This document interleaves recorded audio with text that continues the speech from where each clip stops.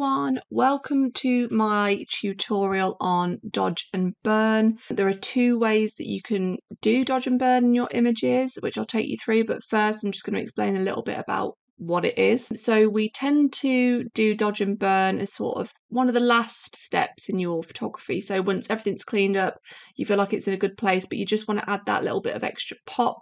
You want to bring things out of the background. We can use dodge and burn to sort of lift um, lighter areas and um, sort of bring down darker areas.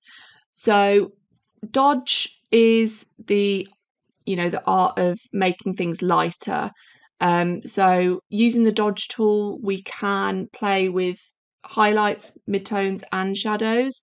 Um, but typically we are using dodge to, to, you know, to really highlight those highlights, which I know I've just repeated, but there we go. Um, and the burn tool is what you would use to darken areas of your image. Again, you can darken highlights, shadows, or midtones, but typically you will sort of push the shadows um, that little bit darker to sort of create that contrast and that pop. So the first thing we're going to look at is the physical dodge and burn tool, which is normally on your panel um, on the left hand side if you're in Essentials Classic in Photoshop. Um, I've got burn selected at the moment, uh, which is sort of little hand tool.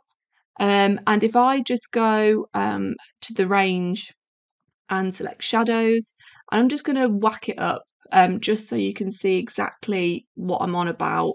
Um, and it is important to know that for the dodge um, burn physical tool, you need to have a layer selected, um, like a physical uh, image layer rather than adjustment layer, otherwise it won't work. Um, so yeah, I'm just going to paint onto this um, this image directly. And as you can see, if you're going to go full whack, you can really just darken the shadows. It does sort of um, enhance the saturation, bring out the colour a bit more. You wouldn't do it like this. This is just an example. Um, so I'm just going to go back to the beginning on that one.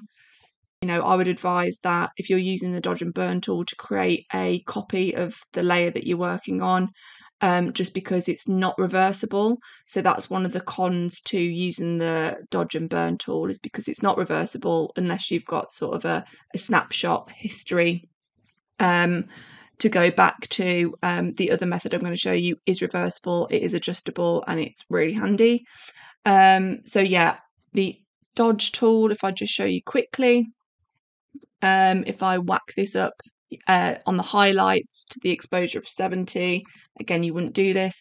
If I just start to paint over this, it goes a bit wild, but it sort of, you know, brightens the colours. It makes everything go a bit wild. So again, I'm just going to go back to the beginning on that. The way I'd advise you use dodge and burn um, is to um, sort of only use an exposure of 1 to 2%, um, and then you can start to sort of paint over the areas. Um, use with caution, use with intuition, don't overdo it. There's nothing worse than an over dodged or burned image. Um, so, yeah, I would use it sparingly. Um, as I said, the nice thing about this is is that you can, um, you know, with using the dodge tool, I could lift the shadows if they were too dark. Doesn't always work the best, um, but as you can see here, it just starts to, if I whack this up again, um, it just starts to lift those shadows. It's looking awful, but I'm just trying to over dramatize it so you understand what the tools do.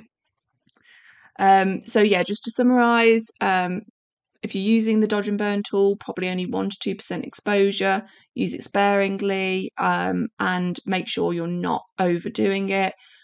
Always duplicate your layer and make sure that you've got sort of a, a saved version of the previous uh, image before you dodge and burn because it's not reversible. So with the second way you can dodge and burn, um, I do it by using a curves adjustment layer. So this is the finished image. Um, if I just quickly click on and off these two layers here, as you can see on the turmeric and the watermelon and other little bits, um, this is the dodge layer. It just sort of pulls out those highlights. Um, and the burn, it just kind of lowers down um, the tone of the shadows and sort of uh, makes it a little bit more contrasting. I still wanted to keep this sort of natural look. I didn't want it to have too much dark in the shadows because it's a really bright and fresh image. Um, but again, that's just completely down to you and, and what the style of work is and and the you know the tone of your brand that you're working on. Um, with the curve adjustment layers, what's really cool about it is obviously if you don't want it anymore, you can just unclick it. It doesn't have to be there. It's not permanent. And if you feel like your shadows aren't dark enough, you can always go back into sort of like this histogram area and you can pull the shadows back down. Like if I lift that all the way up, which looks terrible, it would take it the other way. But you can still play with those, um, the burn and dodge um, layers, and you can, you know, you can really see there where I've, you know, made those um, those dodge adjustments. Um, so yeah, it is playable after you've um, after you've sort of painted in your areas. But I'm just going to show you how to set up a burn and dodge uh, adjustment layer. So I'm just going to unclick those because that's how it's already done. Um, so what we're going to do is go to this little um, black and white circle at the bottom, the adjustment layers, click on that and go to curves. Uh, I'm just going to name this one burn. So I'm going to play with the shadows in the image. Um, and I'm going to probably really over dramatize it and pull this all the way down. As you can see, it darkens the whole image, doesn't look that nice. Um, but I'm just going to use this as a starting point.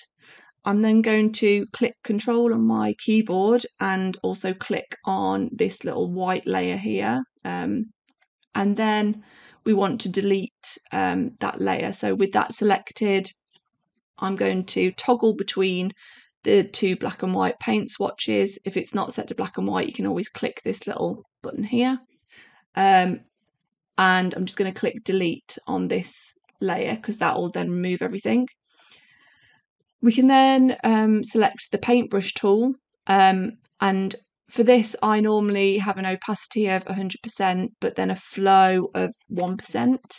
Um, this just helps you to be able to build that layer up. So when you're painting back in the shadows, um, you can you can really layer it up and sort of go as deep or as punchy, but it doesn't um, make it go too crazy. For example, if I put the the flow right up to 100%, you can see that that will paint it in quite dark, but it's harder to control. Um, so yeah, I would recommend that you stick to about 1% in the flow. You could also do it where your flow is about 35% and your opacity is lower.